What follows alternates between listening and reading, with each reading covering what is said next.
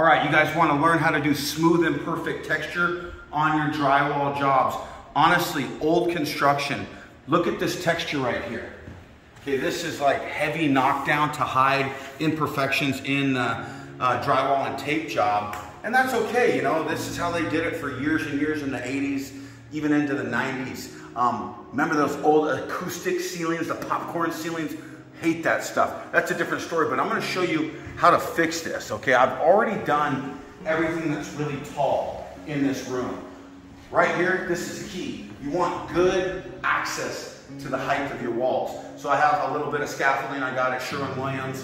Really nice little rolling scaffold I use all the time on my DIY projects. But uh, I'm gonna give you some pro tips on how I do drywall like a pro, even though I never learned from a drywall guy. So I'm interested in the comments below. What would you do different if you are a pro? All right, let me show you what I got. Um, they, they sell plastic or metal pans. I like the metal pan because it's got a nice sharp edge. The plastic pan has an insert of like a little sharp edge that falls out and gets messed up. Also, I like to put a little bit of water in my mud. When I'm going over paint, I like to use all-purpose compound right here. They got all-purpose compound or they got topping compound. I like to use all-purpose compound. Why? My dad taught me this. It has more glue in it, so it's gonna adhere and stick to the walls. I don't ever have it delaminate or flake off. Topping compound, I'm not sure, but I always have used the all-purpose. It's got more glue. All right, I like to have a sponge handy because I'm gonna get a little bit of water and I've already mixed this, but it needs just a hair more water, but I'll show you how I mix. Now, I just get a little bit. You can always add more water. I'm just gonna add a little bit of water to that because I want it creamy. But if you get it too loose or too creamy, what's gonna happen is it's gonna spill all over the ground and you don't want that. But there's a key on how you, how you trowel it on so you don't make a huge mess. This is also the type of paddle that I like to mix drywall mud, all right? So I'm gonna put it in, start out slow. You're not gonna start whipping it really fast. You'll whip mud and water everywhere. Just gonna start out nice and slow pick up the pace. I'll go a little bit slower when I grab the edge of the bucket because I don't want to peel plastic from that bucket and get chunks into the drywall mud. And that's key too, you want clean mud. If you pick up dust and dirt and debris from the ground and trowel it, you're gonna get little chunky monkeys in your wall that are gonna cause you fits. So I do the bottom where the baseboards are gonna go. I do that very last after the rest of the walls have had a little bit of time to set up. All right, this is the consistency that I like. That's good. I'm gonna whip this a little bit just to get that off. And then I just tappy tap right here. Get the majority of that off. And then I whip it in my water. And then I just set it in the bucket like this. Now if you're gonna do this, you want a bucket at least about halfway full of water. If you don't have water in that bucket, this might pull the bucket over. It's, it's too light. All right, other pro tip. I like to have two pans. Why do I have two pans? Because my son, my helper, my tool man, he's gonna get me the next pan ready when I'm ready for the next pan. If I'm up on scaffolding, I don't have to come down and go up, come down and go up. It's nice to have a two-party team on this. All right, another tool that I like, oh, this is what I do with my drywall knife. You don't wanna get this wet, you don't wanna get this with chunks from the ground on it. So I clean that off and I'll set it in the ladder just like that so that that stays clean. Okay, come over here. This tool right here, it's called a drywall scoop. I love this tool. It's in the contour of a bucket. Okay, that way I can scoop in here and I just get it right out of my bucket and it makes me load my pan really fast. Now, do I load a full pan every time? No, I don't. I go about right there. I don't want it super heavy on me. I, I made a big mess right there, so I'm gonna scoop that up. It's clean, I'm gonna put it right there, okay. We're clean, waste not, want not. I also like to keep, I did a really good job sweeping and blowing this floor out and getting it really clean prior to starting this project. All right, now here's the biggest tip I'm gonna give you. This drywall knife, it's a happy accident that I learned a while back. Okay, if a drywall knife is straight, that's fine, but you tend to put lines on the edges of your knife. Now you could sand these corners a little bit to help you, but what's helped me the most is I've bent this knife. I don't know if you can see that, but this corner is bent this way, this corner is bent this way. So when I look down it, the knife is going like this. It's not straight, it's concave, or is it convex? I don't know, I guess it would depend on which way is top and bottom. Okay, so but anyhow, it's, it's an arched trowel. Um, I just bent it with my hands. And what that does is it makes the high point this hump. So when I'm troweling it on the wall, I don't get a bunch of lines. Now remember, if you're just starting this, sanding is your friend. Put it on thin. You can do multiple coats if you want, but have a hammer ready. Right here, if you have like a, a drywall anchor or a high point in the wall, tap it in and make it a low point, and then you can mud over that. Okay, also, if you have gloss paint, you wanna degloss it, you wanna sand it a little bit. I just go 220, rough it up a little bit. You could also get TSP, trisodium phosphate, clean the walls, but you could just sand them and wipe them down, um, and it's gonna adhere really well. All right, let's go over to this wall and I'll show you how I trowel it on. Guys, if you're getting value out of this, leave me a comment. Tell me if you like this type of video or do you like my painting videos better? Let me know in the comments below. All right, you can see this is where I stopped yesterday. And you see these little high points? That's it, that's all you gotta do right there. I'm gonna show you how I cover up this texture. First thing I do, when I load my knife, you don't want a bunch of material on the very edges.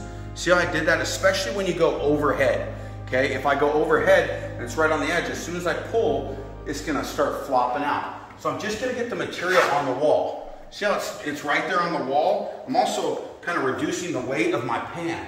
Okay, so I get mud on the wall, and then I'm gonna, now see how I grab the, the trowel here? Instead of putting my finger like this, you're gonna wear that index finger out. A lot of times I grab the trowel like this, and I'm just gonna start covering the wall. Right now I don't really care about the pattern. I just care about it like a, a thin coat on the wall. I don't want too much, but you can't pull it all off. You, you want to cover that texture. See how I'm kind of going down in an arch? It's just because it's an easy, natural movement. Slap it up, okay, clean my trowel, and then I'm just gonna start pulling it down. I'll come right up here to these edges, just pull over, just cover all that texture. And when you, when you start hearing your trowel scraping the wall, you, you know that you're, you're pulling a lot off. You're getting there, okay? I remember doing this in my very first house that Catherine and I bought years and years ago in Elk Grove, California. It had really heavy, nasty texture on the wall. And doing, doing this, just this step, I mean, painting a house inside and outside is probably the most bang for your buck you could ever get. It's really gonna freshen up a house, especially if you're selling. But like old texture like this, it, it really dates a house. It looks ugly and this smooth and perfect finish.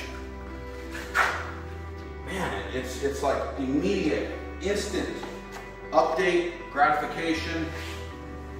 Really uh, helps. When I go around these plugs, I pull your plug covers off and then don't touch those screws with your trowel. You get a shocking experience. Remember, I can sand too. Anything that's too nasty, too heavy, I can sand. Okay, so I'm starting to get it where all the, and I also do sections. I do a section at a time. I've done where I can now reach it with my, I don't have to be on scaffold or a ladder, so I work from the top down, okay? That way, the reason I go from the top down is because if I went from the bottom up, it's gonna, any drip is gonna roll down that wall and kind of mess up all the texture I did. If I don't catch it, it'll dry, just more sandy. It's not a big deal, but that's why I go from the top down. Okay, so now what I'm gonna do is just start smoothing it out a little bit more. Now, I am leaving lines, I'm aware of that. But that's because I'm getting the texture kind of even. Okay, kind of even on this wall. Getting rid of any spot that's got heavy, heavy texture because I don't need that much mud. But by slapping the mud up there, it allows me to do this much faster than trying to pull it out and smooth out one little trowel amount at a time.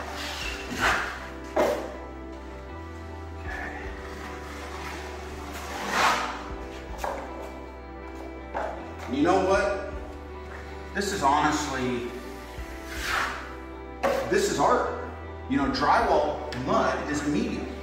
And if you look at it as art, the possibilities are endless what you can do with it. Have you seen the videos where people will actually do like landscape situations in the, in the mud? They'll make trees and animals and that kind of thing. All right, so now I'm gonna just start working my way down. And what I'm gonna do now is because I'm working my way down, I'm putting my pressure at the, at the bottom of this trowel. So you'll see a line below, but the line will get fainter at the top, okay? Because I'm, I'm like holding the top of that trowel out from the wall. So like it, oh wait, let me look at my arch. Oh, I got it backwards. So I need to be like this. And then I'm putting the pressure down here, not at the top. So it'll just hide those lines more and more the more that I do this. Also, as the mud starts to dry, you can come back and do this again at the right time and really erase all of your lines. Um, so like I could work this section, get it, get it close, and then go back to the section that I was just at,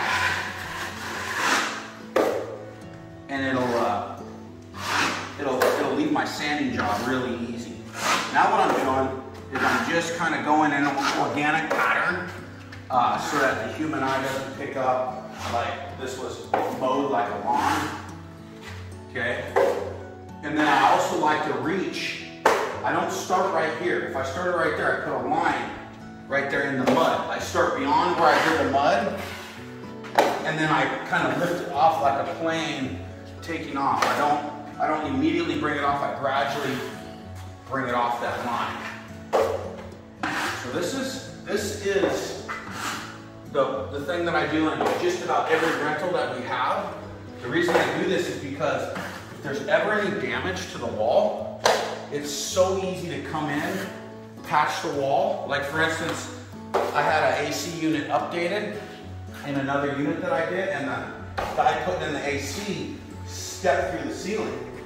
And I had uh, renters coming the next day. So what I did is I just quickly, I got some hot mud, some mud that dries in five minutes. I patched it, and then I, uh, I did this texture, painted it. I got the repair done. Remember that, Willie? Were you there on that, helping me? I think so. I got that repair done in like 30 minutes, where normally it'd be, you gotta get your hopper out, you gotta let the texture dry. It can be a pain. I've done it So this is why I love this texture. It's so easy to fix. But this is, this is almost, almost done. And then I just, like, this little chunk right here, this is because I got something in the drywall. So when you, when you pull that chunk, it just keeps, keeps leaving a mess. So I pull that out. Usually what I do is put it on the corner of my shoe. And then I scrub it off.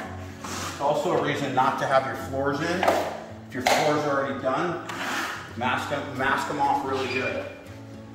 And then you won't worry about making a mess. Prep is key, and prep is, see that? There's a chunk right there. See the little comment it makes? So I just scoop that off, put it on the shoe, wipe it off. All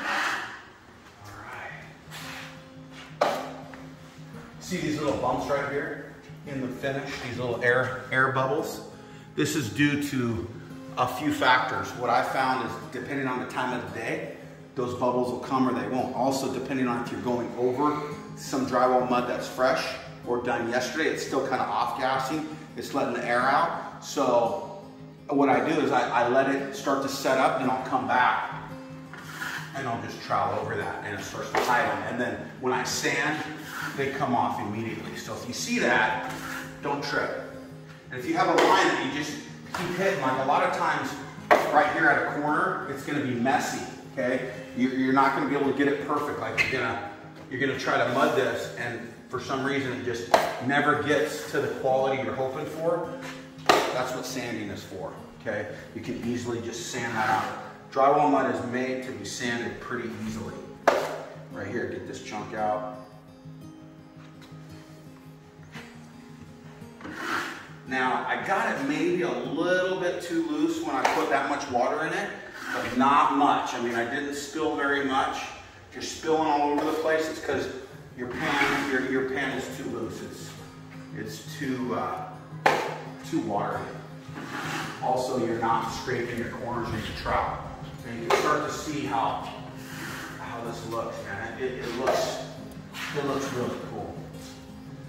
And honestly, I don't try to put a bunch of texture in it. You're naturally gonna get some texture. I don't care how good you are with the trowel, that, that if you wanted it perfectly smooth, you would just have to sand out like a madman. But I like it with a little bit of texture in it anyways. And then when you sand that texture, it just looks like Venetian plaster when you're done.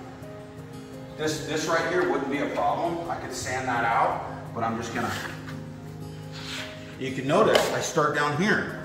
I start down here and I work my way up. That's also why when I did the top, I went all the way around with my scaffolding and I and, and that dried overnight. And then when I came back today, I can I can start here above it and bring my trowel down without putting a bunch of marks in. That's how you do smooth and perfect texture.